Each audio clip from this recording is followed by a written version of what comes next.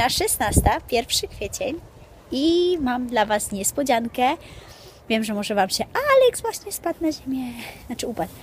Wiem, że może Wam się wydawać wszystkim to bardzo dziwne, dlaczego nagrywam z ręki e, po o godzinie 16, ale tak, mam dla Was niespodziankę, czyli w miesiącu kwietniu. Vlogi będą pojawiały się codziennie. Nie nagrywałam dzisiaj od rana, bo dopiero odświeciło mnie jakoś tak po południu, że dzisiaj jest pierwszy. Aż zawsze chciałam się podjąć nagrywania vlogów cały miesiąc, bo zawsze chciałam się tego podjąć w sumie, odkąd mam kanał. I teraz myślę, że naszła świetna okazja. W sumie kwiecień jest fajnym miesiącem. A więc, no co, spróbujemy. Mam nadzieję, że Wam się będzie podobało i że nie będziecie znudzeni oglądaniem mnie przez 30 dni w kwietniu. Oczywiście, jeśli będę w pracy, albo mój dzień będzie nudny, albo po prostu będę się źle czuła, będę zajęta, nieważne. Nie będzie filmu. Nie będzie, nie chcę, żeby te 30 dni filmów były jakieś takie sztywne, sztuczne i nagrywane tylko po to, żeby je nagrać. Chcę, żeby było od serca, chcę Wam pokazywać, jak wyglądają nasze dni, bo wydaje mi się, że to lubicie. A zaraz Wam pokażę, jak Alex fajnie upada na trawę. Alex!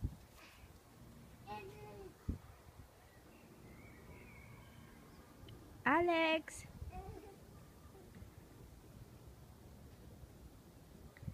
Alex! Czy jesz kwiatki? Chodź! Przestań, no wstań! Moje dziecko mnie nie słucha. W ogóle jak na pierwszy kwiecień wydaje mi się, że jest mega zimno, to w marcu już było cieplej, a jak widzicie, ja mam na sobie kożuszek. Off! Dlatego, że ja lubię na przykład ubrać grubą kurtkę i wtedy cienką koszuleczkę tylko pod spodem, ale jak widzicie, Alex ucieka. Tam mieszkam. Ha, ha. Teraz wszyscy mnie napadną. Dobrze, że jest dużo bloków, które wyglądają tak samo.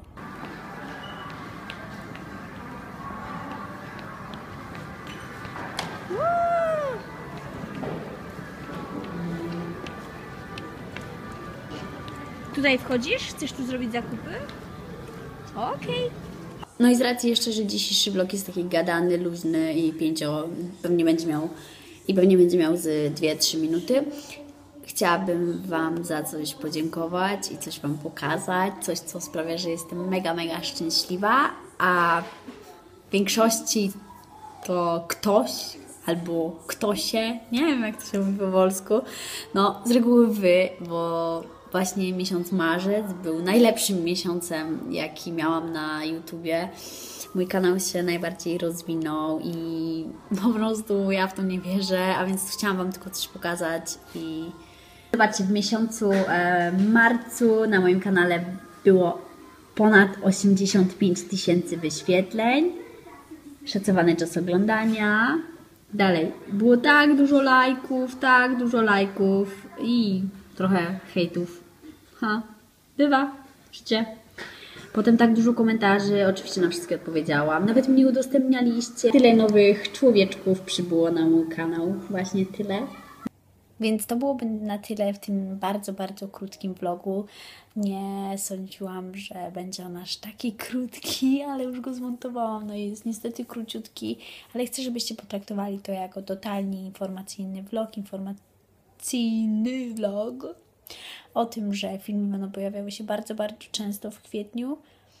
Bardzo często, jeśli mi się tylko uda, będę robić wszystko, co w mojej mocy, serduszku i wszystkim dla Was, abyśmy mogli widzieć się tutaj dużo, dużo częściej, ale chcę, żebyście od razu wiedzieli, że ja jestem też człowiekiem. Przede wszystkim jestem mamą, jestem samotną mamą, która próbuje mieć jakieś życie prywatne, a więc nie jest to łatwe już na dany moment, ale no co, chcę, żeby, chcę żebyście wiedzieli, że ten kanał na YouTubie naprawdę totalnie mi pomógł i myślę, że w większości procentów to właśnie on mi pomógł tak dobrze stanąć na nogi po tym całym chorym, toksycznym związku i tak dalej, po tych historiach, bo e, odseparowałam się właśnie z mojego toksycznego związku w maju, a założyłam kanał na YouTubie w sierpniu i w sumie nie wiem dlaczego to zrobiłam, nie wiem dlaczego go założyłam, nie miałam jakiegoś specjalnego pomysłu nawet na samą siebie, ale stwierdziłam, że chciałabym zrobić coś innego niż myślenie o tym, że moje życie jest do dupy. I w sumie założyłam ten kanał, ale wiele z Was nie wie, zakładając ten kanał ja nawet nie miałam komputera. Nie miałam komputera, bo jak już mówiłam w w jednym z filmów, to ojciec Aleksa sobie zabrał mój komputer i po prostu nie chce mi oddać, bo nie wiem, nie wiem do czego mu jest tam potrzebny, nieważne. No i ja nie miałam komputera, czyli pożyczałam mamy komputer czasami, żeby coś tam zmontować, żeby coś tam wstawić. Zgasło mi światło. No, dobra, wydaje mi się, że lepiej. No, a więc tak, moje początki na YouTube było po prostu mega, mega trudne.